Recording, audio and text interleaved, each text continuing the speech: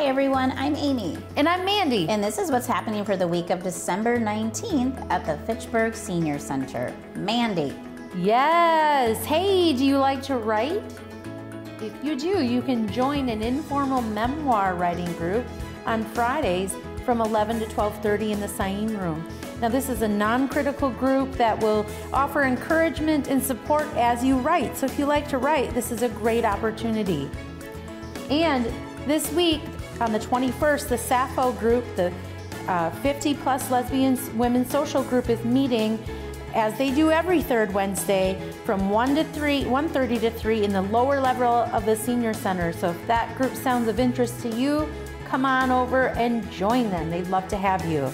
Amy, what do you know? Well, I'm so excited to say something old is new again, and that's line dancing. Woo! We have line dancing again. Yay! It's been years. Line dancing with Nancy. It's going to cost $30 for three sessions. So you just want to register today on the website, or you can call in. I love dancing. I know, it'll be so fun. Um, and then I want to remind everybody about the winter weather policy. If the Oregon schools are closed, we automatically cancel all meals.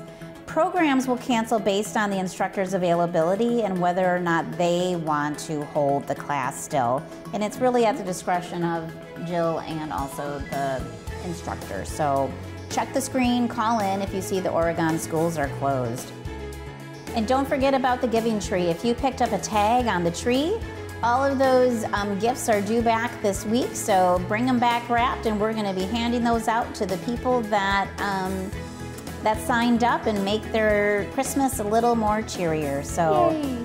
Thank you so much for donating your money yeah. and time for helping this good cause. So lovely. So all you have to do is wake up and show up. For the coffee's usually pretty hot. You'll find friends, a newspaper, and maybe even a hug. We'll, we'll see, see you right here. Right here. Thanks a lot.